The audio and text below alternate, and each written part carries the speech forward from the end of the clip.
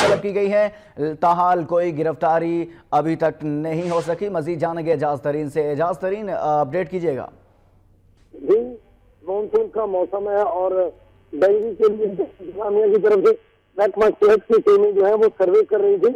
आज भावलपुर रोड पर जैसे ही महकमा सेहत की टीमें एक घर में पहुँची तो वहाँ पर मुलाजमीन पर कुत्ता छोड़ दिया गया, जिससे खौफजदा होकर एक खातून एहलकार जो है वो गिर पड़ी और उसे चोट लग गई। डीसीओ मुल्तान तो ठीक पता चला, उन्होंने फ़ौरन नोटिस लिया और उस पर उन्होंने पुलिस को कार्रवाई करने का हुक्म दिया। पुलिस कार्रवाई कर रही है। डेंगी टीम पर तशद किया गया है। मुल्तान में एजाज तरीन अपडेट कर रहे थे। शुक्रिया।